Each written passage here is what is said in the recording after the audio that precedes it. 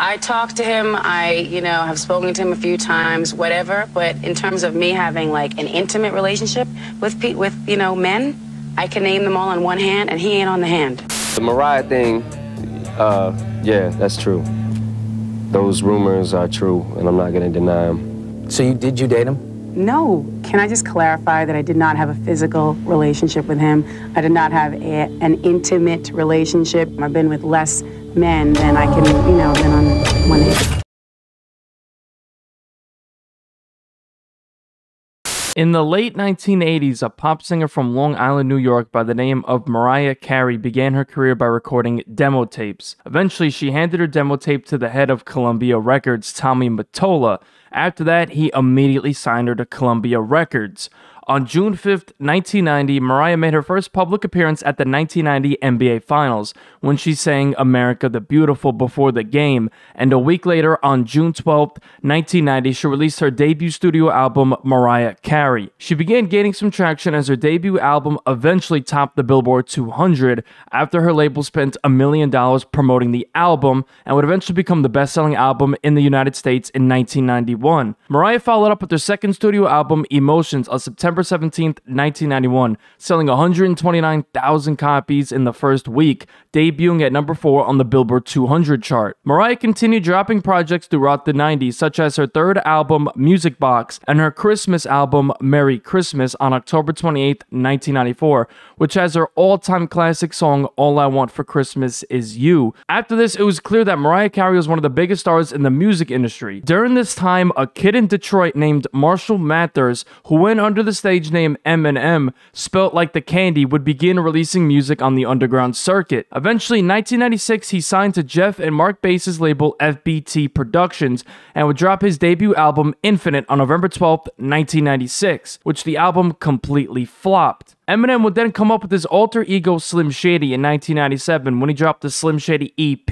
He attended the Rap Olympics on October 24th, 1997, where he would be discovered by an intern at Interscope Records, where he would give them a copy of the Slim Shady EP. This led to Eminem being signed to Aftermath as Dr. Dre heard the EP and loved it. And on February 23rd, 1999, Eminem dropped his debut studio album, The Slim Shady LP. After that, Eminem would blow up, becoming one of the biggest rappers in the game but it got even crazier on May 22nd, 2000, when Eminem dropped his second studio album, The Marshall Mathers LP, which sold an insane 1.78 million copies within the first week, which is just ridiculous numbers. So it was clear that Eminem was on top of the music industry. In 2001 would be where Mariah Carey and Eminem hooked up. Mariah was getting ready to drop her next album, Charm Bracelet, so she reached out to Eminem to see if he wanted to help her out on the project. Now, according to Eminem, during this time is when they would begin dating for six months before breaking up eventually. But according to Mariah Carey, they actually never dated and it was just a business relationship. So Eminem, being Eminem, had to mention their alleged relationship on his songs. So on May 26, 2002, Eminem dropped his third studio album, The Eminem Show, and on two of the tracks, he mentions him and Mariah's alleged relationship. On the tracks Superman and When the Music Stops. You trying to be my new wife? What, you Mariah? Fly through twice. What the f you take me for a joke? You before I do that, I beg Mariah to take me back. After this is when this all became public and the world was shocked that Eminem and Mariah Carey dated. Mariah got wind of this, so on December 3rd, 2002, Mariah Carey dropped her ninth studio album, Charm Bracelet, and on the track Clown, she responds to Eminem, saying that they never even touched each other and throws subliminal shots when she calls him a puppet show.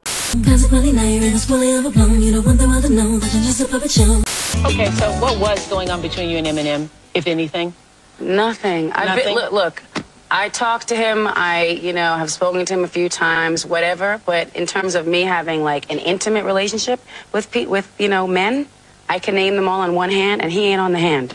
That same day of her album release, she would appear on the Oprah Winfrey Show, and Oprah asked her about her past relationship with Eminem and if they actually dated or not. Mariah would respond saying that she didn't have a relationship with Eminem at all, and this would begin Mariah's denial tour, where she would completely deny ever even dating Eminem. The Mariah thing, uh, yeah, that's true. those rumors are true, and I'm not going to deny them. So you did you date him? No. Can I just clarify that I did not have a physical relationship with him? I did not have a, an intimate relationship. I've been with less men than I can, you know, than on one hand. So he's not one of those men. In 2003, Mariah Carey would continue dissing Eminem subliminally when she wore a blonde wig and a Detroit jersey during a performance of her diss to Eminem called Clown. Eminem got wind of this, so on November 12, 2004, Eminem dropped his fourth studio album, Encore, and on the track Puke, he disses his ex wife, Kim, and it's also believed that this song was also about Mariah Carey. In 2005 is where this beef would get crazy.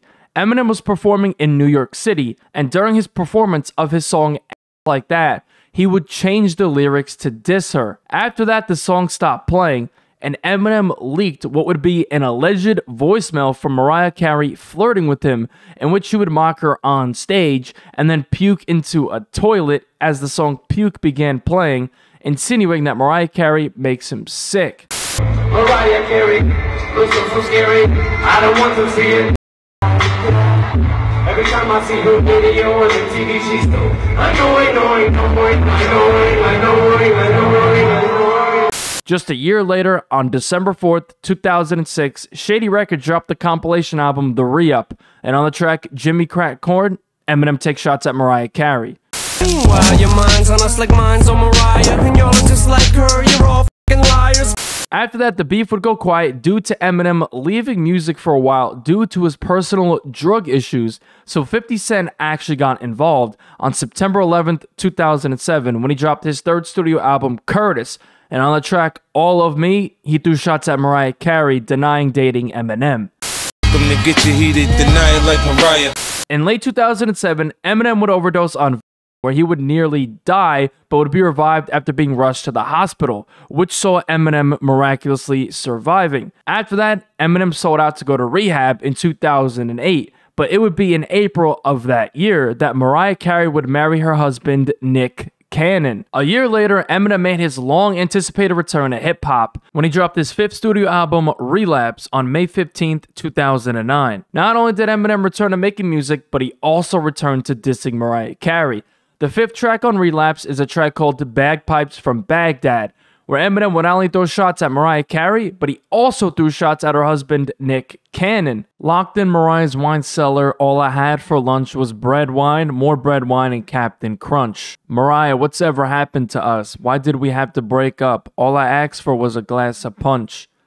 I can't imagine what's going through your mind after such a nasty breakup with that Latin hunk. Luis Miguel, Nick Cannon better back the fuck up. I'm not playing. I want her back, you punk. I mean, I really want you bad, you. Nick, you had your fun. I've come to kick you in your sack of junk. I ain't playing no fucking more. Nick Cannon, you. I wish you luck with the. Nick Cannon would respond in a blog post saying, I thought we got past the days where white men could spew vulgar obscenities at our beautiful queens and get away with it. So, Miss Marshall, I'm gonna make you wish you never spoke my name and regret the ungodly things you said about my wife. I don't know why no one has stood up to your bitch yet, but I guess it's gonna take a corny, whack, rapping boy toy from Nickelodeon to set you straight. And trust, I'm going to be relentless. Even though I got a lot of other obligations and occupations, you are my new full time job, homie. Say tomato, I say tomato. I'm Tommy Mottola, Mariah. Don't stop me, I'm on the roll. Oh. But what do you think about all this stuff No, no, Eminem's no, no, saying? there's nothing. We're, Okay. we're not. We're, we're not talking. Eminem. Exactly. We're not talking, mate. Let's so be don't ask respectful. again. Let's be respectful. All right. Take care, Mariah. See ya. Bye bye. During this time, Mariah Carey was gearing up to drop her album Memoirs of an Imperfect Angel. So, just a month after Eminem dropped his album on June 16th, 2009, Mariah Carey dropped her song Obsessed, which was the lead single to her new album. This song was a diss track in response to Eminem, and in the music video, there's an Eminem lookalike following Mariah around as she was insinuating that Eminem is an obsessed creep. All up in the blogs saying we met at the bar when I don't even know who you are, saying we up in your house, saying I'm up in your car, but are you in LA and I'm out at your mains? I'm up in the A. You so so lame and no one here even mentions your name. It must be the it must be the Cause you be poppin', heard you get it poppin'. Why you so obsessed with me? Boy, I wanna know. Lying that you're me.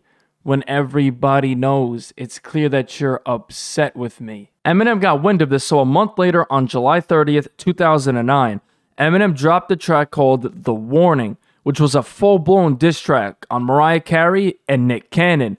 On this track, Eminem exposes everything him and Mariah allegedly did, and he also put the voicemail recordings in the track and other audios of her speaking in interviews. I'm obsessed now. Oh, gee, that's supposed to be me in the video with the goatee. Wow, Mariah didn't expect it to go out. Shut the fuck up before I put all them phone calls out. You made it my house when you was wildin' out. Before Nick, when you was on my give you something to smile about. How many times you fly to my house, still trying to count. Better shut your lying mouth if you the one Nick finding out. You probably think cause it's been so long, if I had something on you, I would've did it by now. Oh, on the contrary, Mary Poppins, I'm mixing our studio session down and sending it to mastering to make it loud. Enough dirt on you to murder you. This is what the fuck I do. Mariah, it ever occur to you that I still have pictures? However you prefer to do, and that goes for Nick too. You think I'm scared of you? You're gonna ruin my career, you better get one. Damn, Slim Mariah played you. Mariah who? Oh, did I say Nick? I meant a liar too.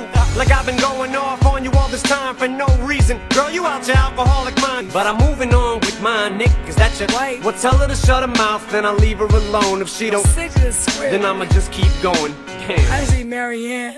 Marianne saying, cut the tape, cut the tape. Knife, After this, Mariah stayed quiet, but her husband, on the other hand, wasn't going to let this slide as he tweeted a series of cryptic tweets. But a year later, on September 12th, 2010, Nick Cannon dropped his response diss track on Eminem called I'm a Slick Rick, as he disses Eminem while rapping over the Teach Me How to Dougie beat. Yo, I'ma serve this clown now. Word, Nick, word. I don't know if I should hit him cause he's slick. Excuse me, Eminem, why you lying on your Eminem would then do an interview with Vibe magazine where he said he was done with the beef, saying, in quotes, I really don't want to talk about her anymore. I don't want to keep beating a dead horse. I'm not even going to comment about it. I'm done with that whole situation. I said what I had to say. I'm done. After that, it would seem that this beef was over and done with, but that wasn't the case, as now it was about to become Eminem versus Nick Cannon.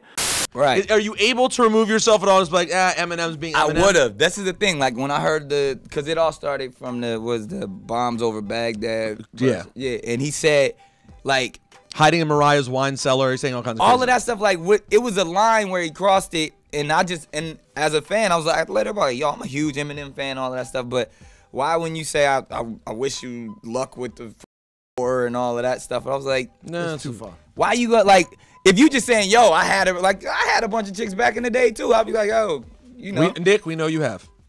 Like you, But then- somebody's wife. Exactly. Somebody's wife now. I would got- never talk like there's chicks that are married to dudes now. I wouldn't I wouldn't throw it out there like that. But then this is the thing.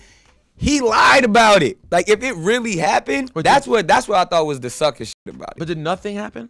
They They hung out. This is what I know. Okay. And this is what if you even listen to his lyrics, it sounds like he's being honest but trying to put extras on it. Right, right. And it was like he talked about, yo, we all know that they kicked it and they hung out and all of that stuff. Fast forward on July 6th, 2016, Nick Cannon tweeted that he would love Eminem to be on his show Wild and Out, to which Eminem didn't respond.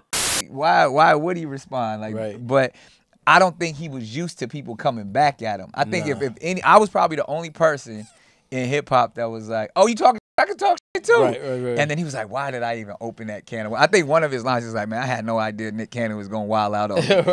Later that year, on November 2nd, 2016, Nick Cannon and Mariah Carey would officially be divorced as their marriage was over. Fast forward three years later to September 2019, Nick Cannon appeared on T.I.'s podcast, where he would open up about his longtime beef with Eminem. It got, you know, he, he said my name. I'm like, "Look, I know I ain't going to be I said that I know I'm not going to be out, able to out rap you, but I will whoop your ass." and those were the exact words at the time. After that, Eminem got wind of this interview, so on December 6th, 2019, Fat Joe and Dre dropped their collab album Family Ties. Eminem features on the track Lord Above, and on his verse, he sent shots at Nick Cannon and Mariah, saying that she had Nick whipped and calls Mariah Carey a nut job. I know me and Mariah didn't end on a high note, but that other dude's whipped. That got him neutered. Tried to tell him this chick's a nut job before he got his jewels clipped. Almost got my caboose kicked. Fool quit. You not gonna do sh. I let her chop my balls off too before I lost to you, Nick. Nick Cannon got wind of this, so he posted on Instagram when he congratulated Fat Joe on the album and said, "Star studded." He even did some charity work and dug at Eminem out his grave. I mean cave. LOL. Flam blam blam. Nick Cannon. Bring your to add MTV Wild and Out to battle like a real legend, Grandpa Marshall. Now, at this point, Eminem probably felt that Nick was only interested in speaking to him to get him on Wild and Out because Nick and everyone else knows that Eminem equals ratings. After this, Nick Cannon responded with two diss tracks on Eminem. One was released on December 9th, 2019, called The Invitation, where Nick started the song with an alleged Suge Knight clip of him calling Eminem a bitch and also references Eminem's ex wife Kim and his daughter Hailie. Eminem would respond with two tweets that day saying, You mad, bro? Stop lying on my dick. I never even had a chauffeur, you bougie fuck. I demand an apology, Nicholas. You've made my gardener so jealous. The next diss track was released the next day called Pray for Him. After not getting a response out of Eminem just a little over a week later, on December 19th, Nick Cannon completed the trilogy when he dropped yet another diss track on Eminem called The Invitation Cancelled. This time, Nick actually sampled a song Eminem made when he was 15 called Foolish Pride, which was a diss towards his black ex girlfriend at the time, so Nick tried to use this against him. What is the update right now with the whole Eminem diss track thing and all that? Yeah. Like, is it dead or is it still alive? Or? I don't know. I I feel like at this point, you know, we had a lot of fun with it during the last season of Wild and Out, and when we get back to it, I know we probably, you know, the, the jokes ain't never gonna stop.